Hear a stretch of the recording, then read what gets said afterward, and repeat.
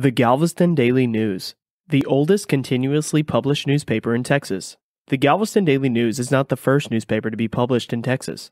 Between 1813 and 1846, at least 80 different newspapers made their appearance in Texas. The first copy of the Daily News was published on April 11, 1842, while Texas was still an independent republic. Sam Houston was finishing his last term as president, and Galveston was little more than a village of around 4,000.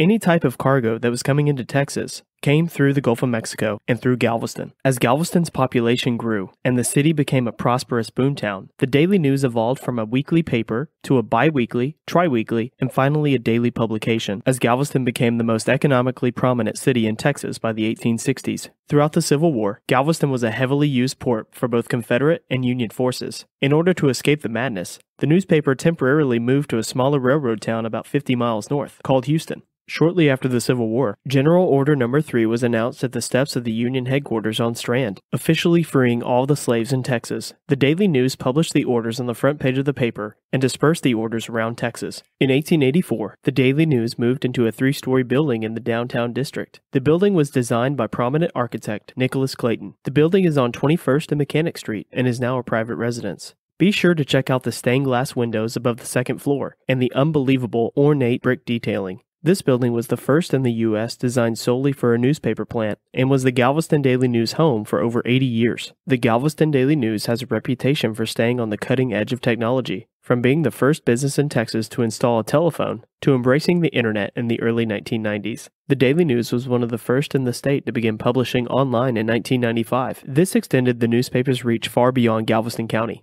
Today, the newspaper is known as the Galveston County Daily News, and the readership extends far from the island. Although the Galveston Daily News was not the first in Texas, it is absolutely the oldest and has played its role in shaping the dispersal of information around Texas for over 175 years. For more information on this topic or another audio guide, be sure to check out the description below.